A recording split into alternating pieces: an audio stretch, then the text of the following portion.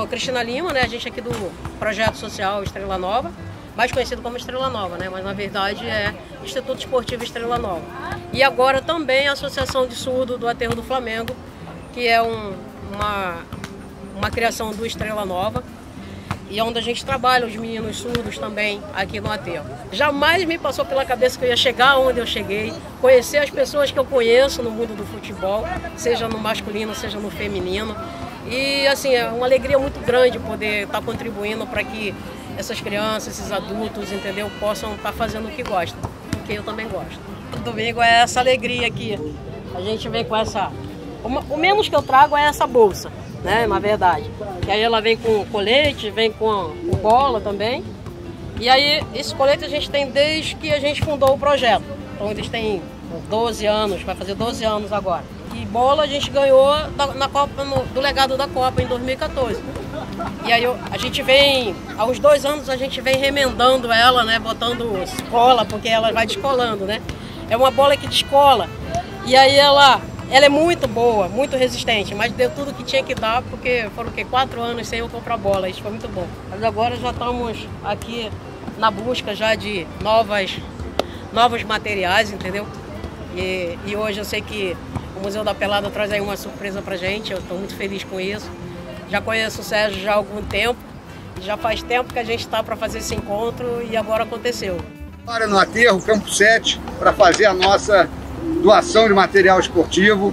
Hoje, Rafa, meu filho, Fio e Vaz, eles estão acompanhando o projeto desde sempre e eles sempre ajudam, né? Dessa vez, eles que bancaram esse material que é bola, cone.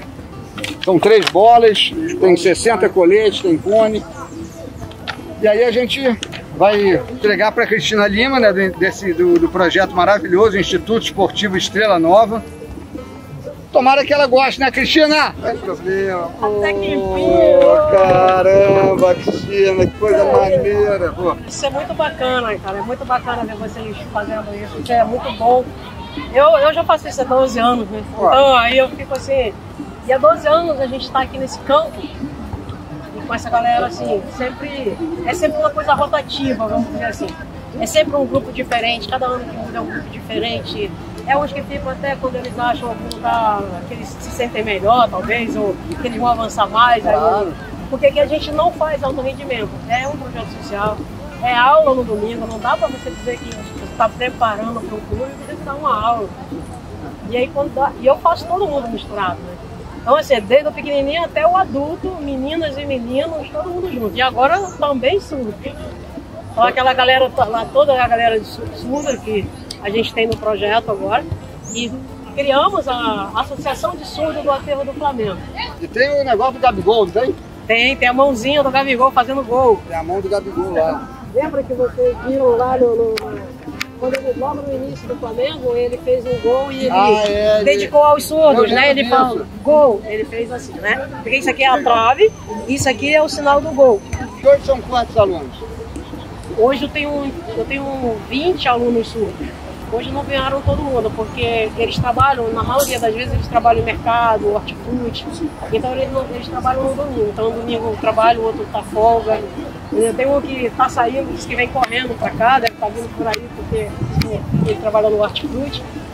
E assim, e aí vem esses meninos que já são homens, que para mim são meninos e chegam tentando aprender ainda coordenação motora. Quem ensina? Quem quem se comunica com eles? É, vocês não. mesmo que fazem?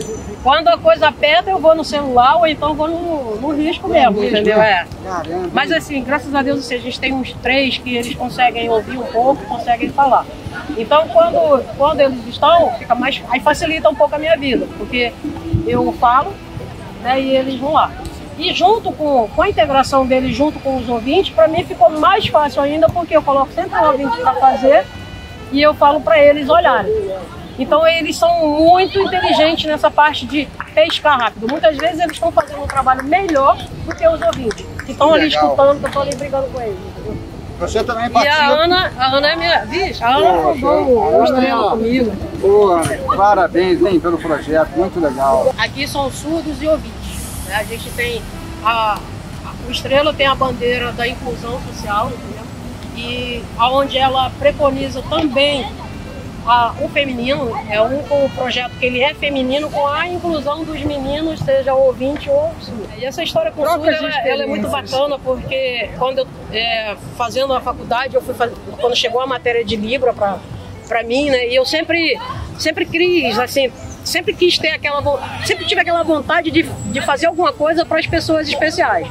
E aí eu tentei fazer porque eu vi os, os, os cegos né, na, na faculdade e aí aquilo, eu falei, não, vou fazer para os cegos.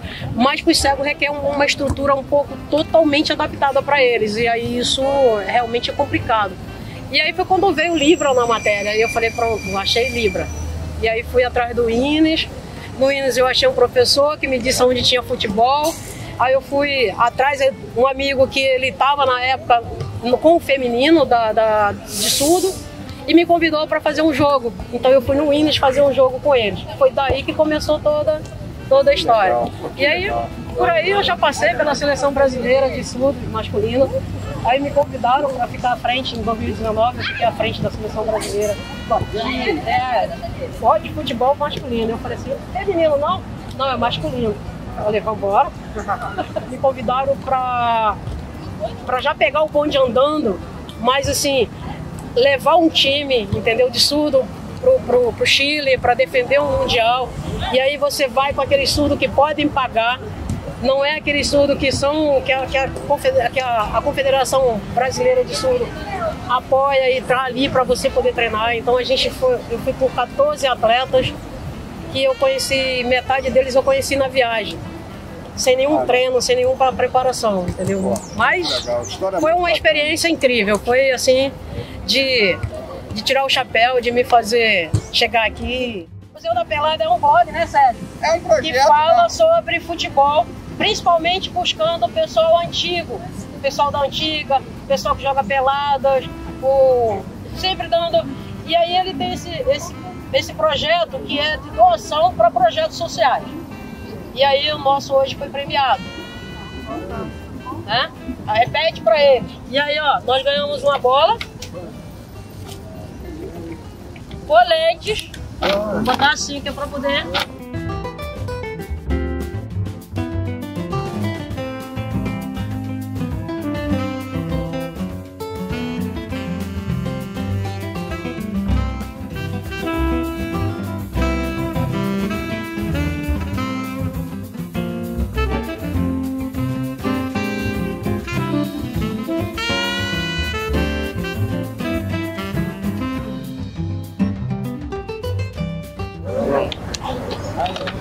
Gostei de sair, assistindo.